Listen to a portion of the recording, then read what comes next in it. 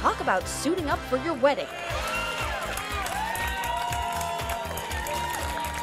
Before exchanging vows with fiance Jennifer Sullivan, groom Patrick Hanks exchanged his tux jacket for a jersey.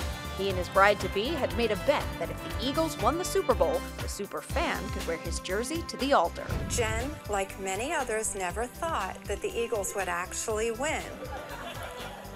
Yet, here we are.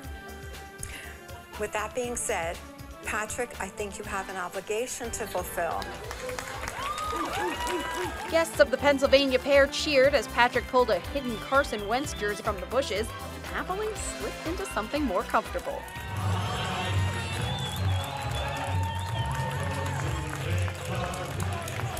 After that, he was right back in the game. Finish this up. Ready to nab not the Super Bowl ring, but an exciting ring nonetheless. For InsideEdition.com, I'm Tara Lynn Wagner.